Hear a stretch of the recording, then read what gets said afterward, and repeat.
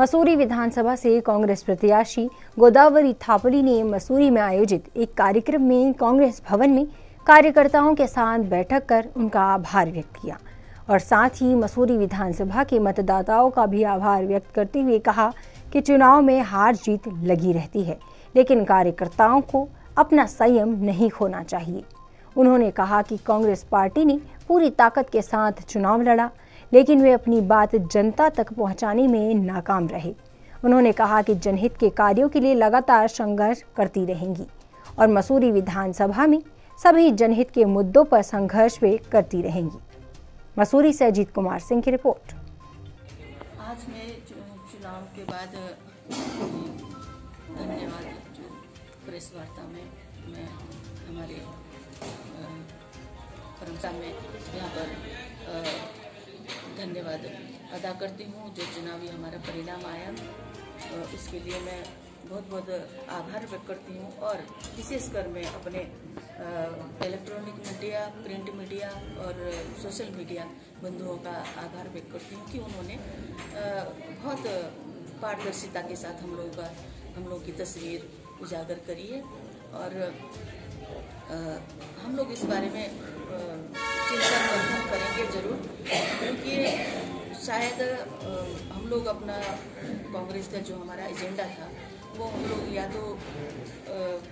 लोगों तक पहुँचाने में विलम्ब हुए या फिर हम लोग उनको सही से समझा नहीं पाए और वो उसको शायद समझ नहीं पाए। तो मैं और ये भी हम लोगों से थोड़ा सा हम लोगों को हजम नहीं हो रहा है कि पिछले का जो, पिछला जो फिगर था, वही फिगर इस बार आ रहा है। और और इस बात से भी हम लोग को ये थोड़ा हमें अपने अपना मनोबल और अपने कांग्रेस जनों का और अपने सहयोगी जनों का मनोबल नहीं गिराना चाहती, उनको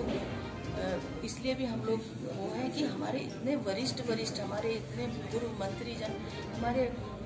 प्रदेश के पूर्व मुख्यमंत्री जी, वो तक, जिनको पूरा प्रदेश ने 42 प्रतिशत मुख्यमंत्री के रूप में उनको मैंडेट दिया था अपना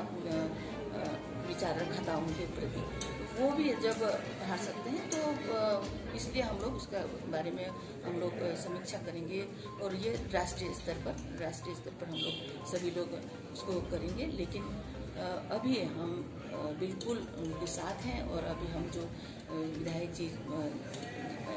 जीते हैं, उनको मैं शुभकामनाएँ देती हूँ, उनको बधाई देती हूँ और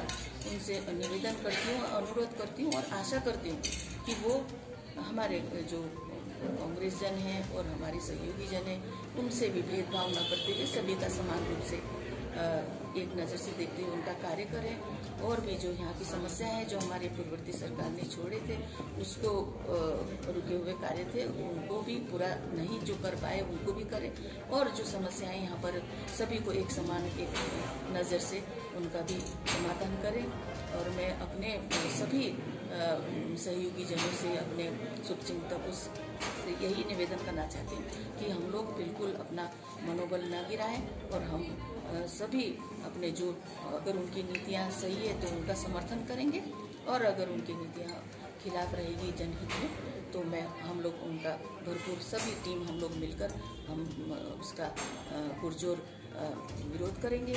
और मैं यही निवेदन करना चाहती हूँ सभी